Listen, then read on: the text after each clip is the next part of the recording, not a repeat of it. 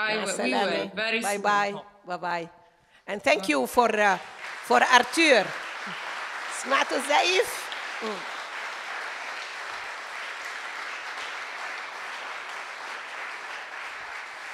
يعطيكم العافية thanks for a wonderful work and keep on doing more work يزيدكم عافية. سمعتوا Thank you. الزعيف؟ ايه سمعتوا الزعيف؟ سمع سمعنا برافو مع السلامة تصبحوا على خير باي باي شكراً. باي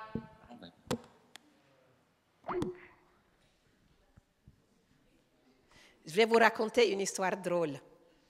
Ces Palestiniens hein, qui n'ont même pas de route pour arriver à leur village, de par la difficulté, parce que comme je vous ai raconté les histoires de checkpoints et de murs et de sièges, euh, sont tout, le temps en fonction de l'exclusion et d'un système de séparation des populations juives et arabes, parce que c'est l'obsession de ce système colonial israélien.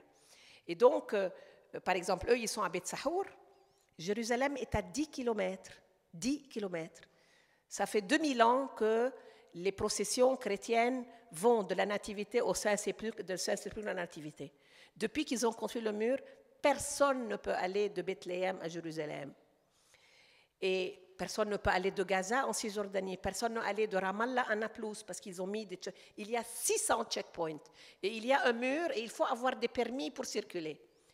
Et donc les Palestiniens sont les premiers à avoir découvert le fax il y a 30 ans, après l'ordinateur, après Twitter, après... euh, comment il s'appelle le dernier?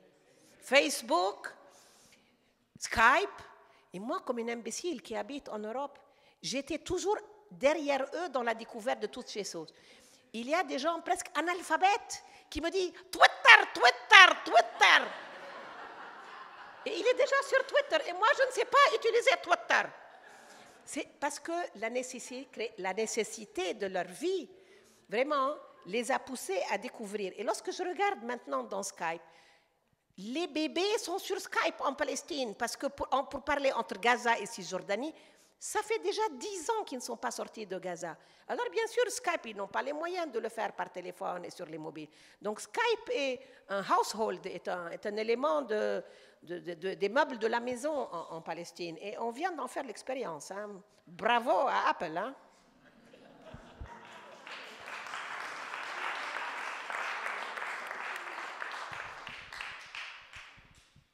Voilà, ça fait gentiment deux heures qu'on est ensemble dans cette euh, conversation. Euh, je vous propose peut-être, une, si quelqu'un a une dernière question, et puis après, euh, on vous offre volontiers un verre, et puis continuer cette discussion peut-être en plus petit groupe. Mais on, on va la mettre dès qu'il y a eu la dernière question que tu as répondu. alors, alors, il y a deux questions, on va prendre les deux, alors exceptionnellement, monsieur.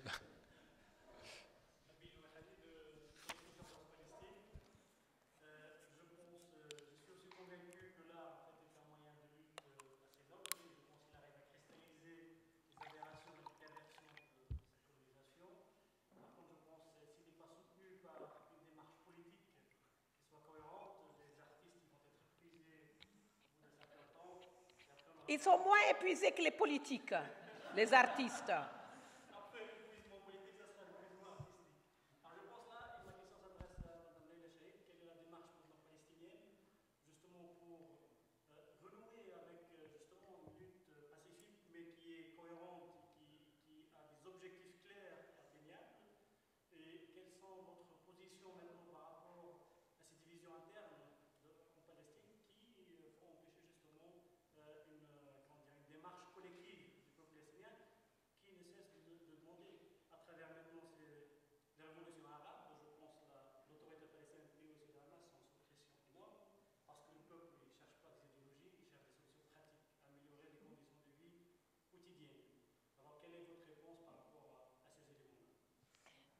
Ce serait une autre conférence de deux heures, mais je vais essayer de répondre rapidement. Premièrement, vous savez, lorsque vous avez une lutte aussi longue, c'est un des mouvements de libération qui a duré le plus longtemps. Hein. Euh, ça fait pratiquement maintenant presque 50 ans.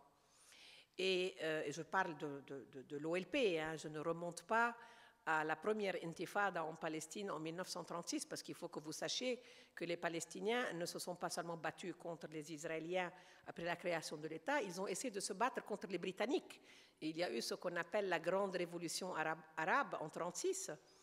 Et dans cette grande révolte arabe de toute la société palestinienne, ils ont réussi à faire une grève générale de six mois. Pendant six mois, la grève a paralysé tous les aspects de la vie quotidienne des Palestiniens sous, mandat britannique. Et les Britanniques ont tout fait pour casser la grève et ils ne sont pas arrivés. Mais lorsqu'elle a fini par s'exténuer et baisser les bras, ils ont décapité le mouvement en faisant fusiller tous les dirigeants de ce mouvement et en exilant les autres. Nous avons recommencé une deuxième fois avec l'OLP, 30 ans après parce que vous devez recomposer le tissu social d'une société pour pouvoir faire.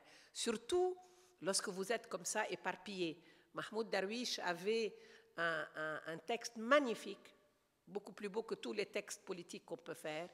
Il dit, en 1948, c'est comme si on avait pris un corps, on avait arraché un bras, on l'avait jeté en Galilée, et on avait arraché un autre bras, on l'a jeté au Liban, et puis une jambe en Jordanie et l'autre jambe en Égypte. Et on a littéralement décomposé un corps social qui s'appelle le peuple palestinien. Et donc, il a fallu beaucoup, si les Palestiniens n'avaient pas une, vitalité, un attachement énorme à leur identité, euh, je vous rappelle que dans le projet sioniste, il n'y a aucune solution pour le peuple palestinien.